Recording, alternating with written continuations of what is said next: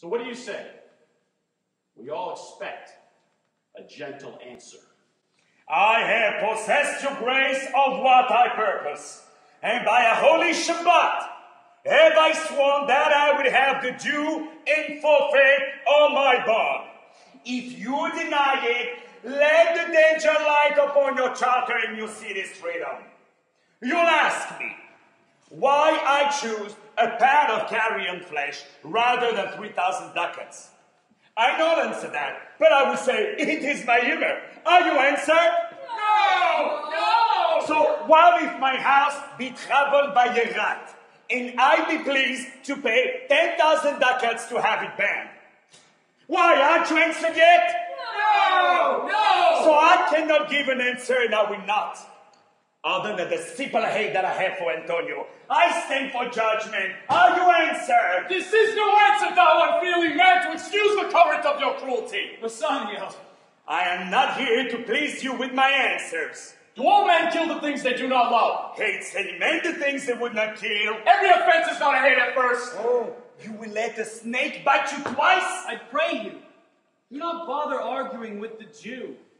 You may as well go stand upon the beach and ask the ocean to get smaller. Therefore, I beseech you, make no more offers, use no farther means, but with all brief and plain conveniency, let me have judgment and the Jew his will. Instead of your 3,000 ducats, here is six.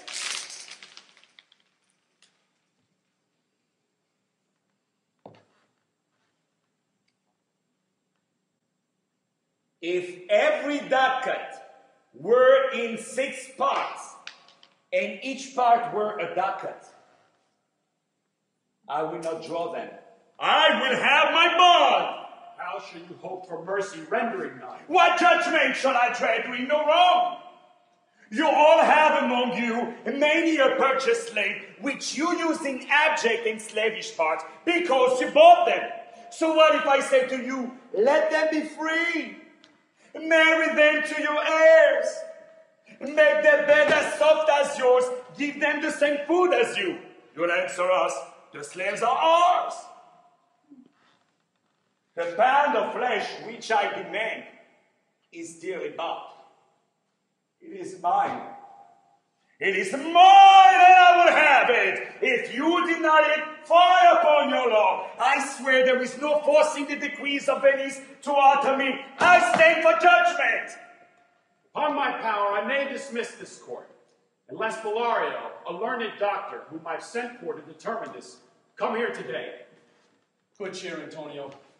What man courage yet? The Jew shall have my flesh, blood, bones, and all, if you shall loose from me one drop of blood. I am the tainted wether of the flock, meetest for death. The weakest kind of fruit drops earliest to the ground, and so let me. The best thing you can do is to keep living, Bassanio, and write mine epitaph for my gravestone. Oh, just in time. Here's Dr. Balthazar. Came you from Padua, from Bellario? From both. from, from both, my lord. Bellario greets your grace.